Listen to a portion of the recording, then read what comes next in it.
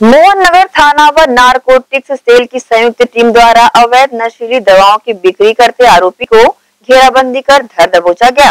Police की team ने Jaspal उर्फ़ mono एवं सोहेल सोलंकी उर्फ़ राजा को गिरफ़्तार कर लिया है।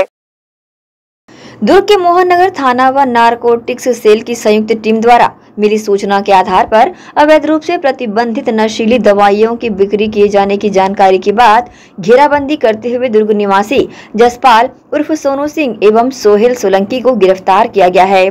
आरोपी ओवरब्रिज के नीचे बरगद पेड़ के पास सिकोला भाटा दुर्ग में नीला एवं खाकी रंग के कार्टून के अंदर नशीली टेबलेट एवं कैप्सूल को लेकर बैठा था, जिसके बाद दुर्ग सीएसपी जितेंद्र कुमार यादव के दिशा निर्देश पर साथ ही जितेंद्र वर्मा थाना प्रभारी मोहन नगर के नेतृत्व में टीम गठित कर घेराबंदी कर दो व्यक्तियों को पकड़ा गया। गौरतलब है कि दुर्ग पुलिस के द्वारा नशे के कारोबार पर लगाम लगाने विशेष कार्रवाइयाँ की जा रही है, जिसके तहत मोहन नगर पुलिस को मुखबिर से सूचना प्राप्त हुई। कि सिकोला भाटा ओवरब्रिज के नीचे युवक नशीली टेबलेट लेकर बैठा है। आरोपियों के पास से पाँच हज़ार तीन सौ पचासी नग नशीली टेबलेट जब्त की गई है, जिसकी अनुमानित कीमत लगभग ग्यारह हज़ार बताई गई है। मोहन नगर थाना प्रभारी ने बताया है कि इस मामले में आरोपी जसपाल उर्फ़ मोनू और सोहेल के खिलाफ नारकोटिक्स एक्ट के तहत मामला पंजीबद्ध किया गया है।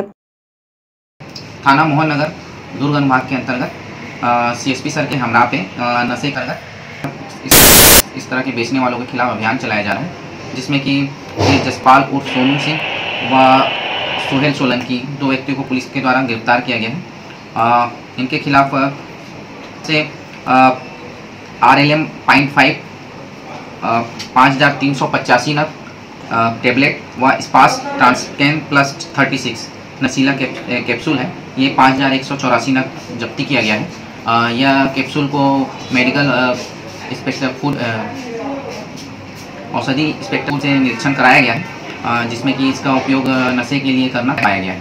सर इसकी कीमत कितनी होगी? जो टेबलेट है वो करीबन तो दोनों मिला के करीबन पैंतालीस हज़ार एक सौ चौरासी रुपये कीमत के हैं। आरोपी इससे भी पहले किसी इसमें लिप्त थे। उनके खिलाफ और कोई भी इसके बारे में जाँच की जा रही है। जसपाल का पूर्व क्रिमिनल रिकॉर्ड देखा जा रहा है। जसपाल के बारे में जानकारी मिल रही बहरहाल पुलिसिया कार्रवाई जारी है। न्यूज़ के लिए दुर्ग से नसीम फारूकी की रिपोर्ट।